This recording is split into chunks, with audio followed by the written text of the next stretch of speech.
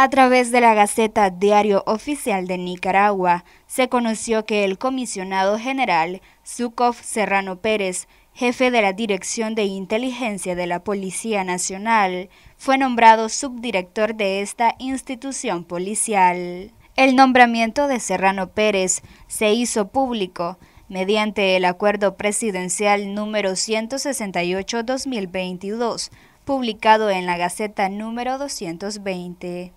Cabe señalar que el oficial, el pasado 19 de septiembre del 2019, fue ascendido a comisionado general en el acto del 40 aniversario de la Policía Nacional.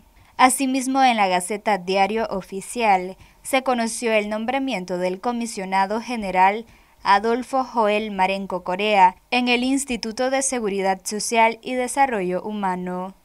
El nombramiento de Marenco Corea se hizo público este miércoles 23 de noviembre mediante el Acuerdo Presidencial número 167-2022 publicado en la Gaceta. Para Noticias 12, Luisa Centeno.